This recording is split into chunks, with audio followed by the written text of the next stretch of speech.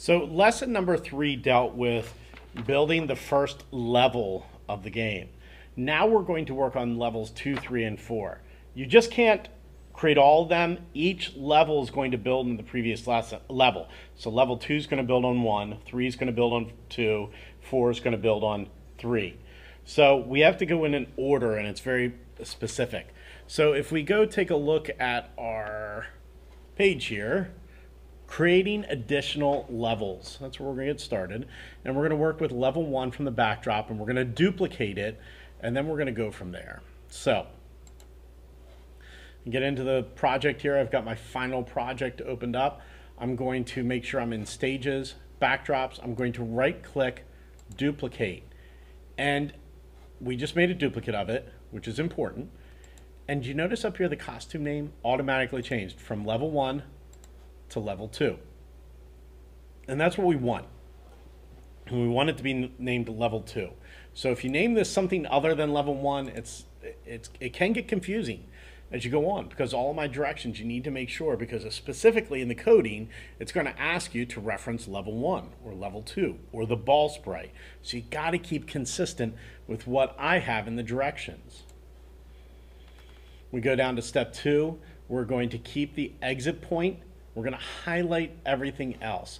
So on level one, here's our starting point.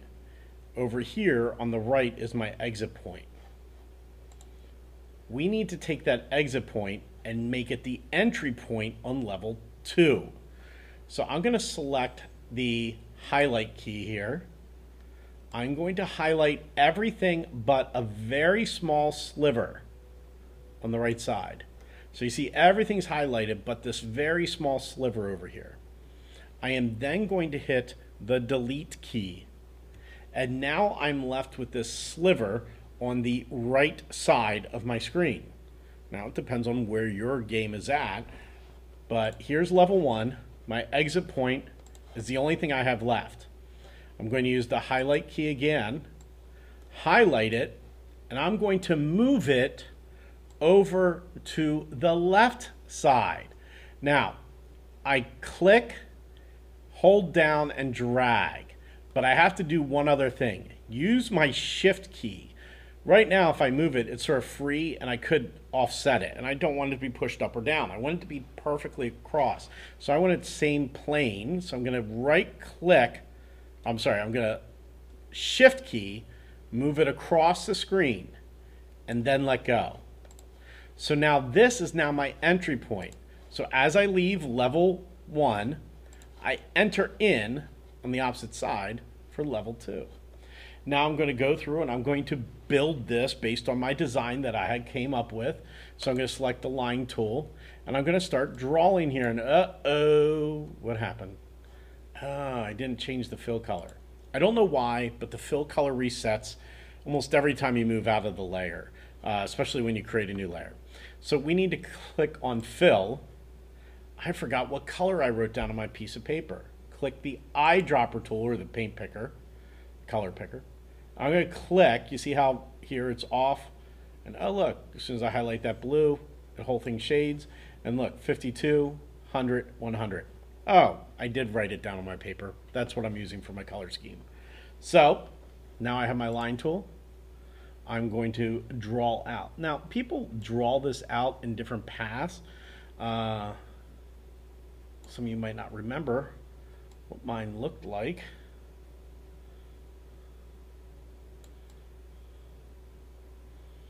But we'll put this on paper.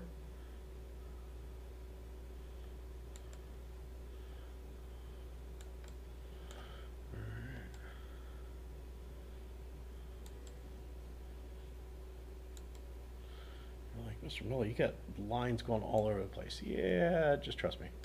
So I'm going to go up here like this.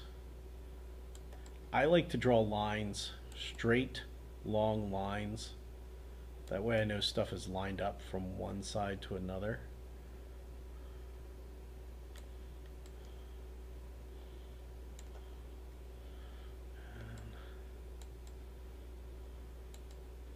All right, that's that looks weird and that's okay. There's different ways to do this. additive and subtractive. So I added a whole bunch of lines. Now I'm going to subtract stuff out. I'm going to go with my, uh, first going to add paint bucket into here, here, here. And that's sort of looking like what I had. Grab the eraser tool. I'm going to go and erase this. Mess with that. I'm going to erase out here.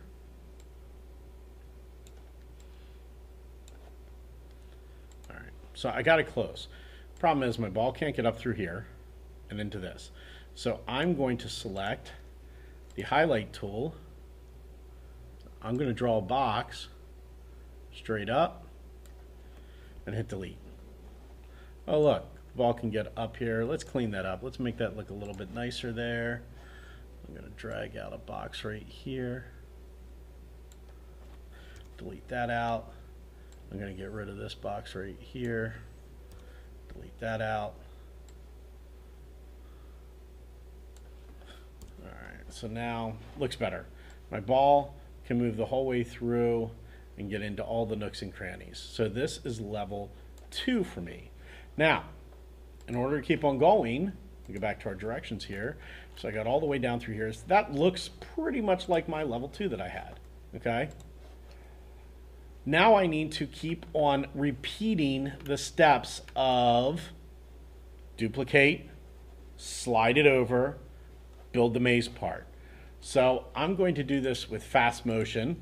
I'm going to go through and complete levels two and three, hopefully in speed. Uh, so hang tight and I'll show you the rest after this. All right.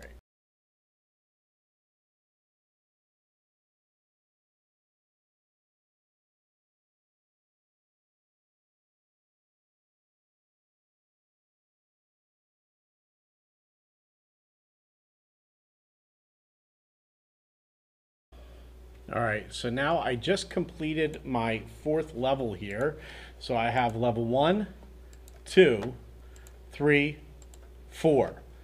Each one of them builds on the previous. If I scroll down to the bottom here, I can I stitch these together just so you have a sample here. This is my level one, two, three, four. You notice I start, move through, move to the next level, can move into the nooks, uh, move into the next level. Maybe I have something over here.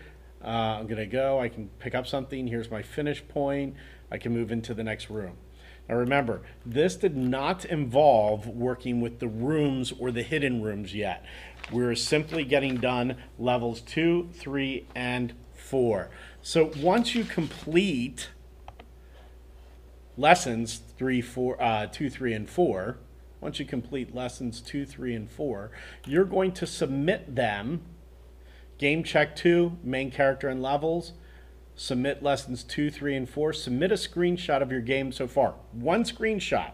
One screenshot is all you need. It should have on the main character the ball, and it should have the four levels under the background tab. This is all I'm asking for. Take a snippet tool, the snipping tool, or the screen capture tool. Take a picture of this, and then submit it. Click on this assignment and submit it, and I'll check it off that you did it, and it'll be worth points. So this is what you're working on, for levels, and uh, this completes lesson number four. Good luck.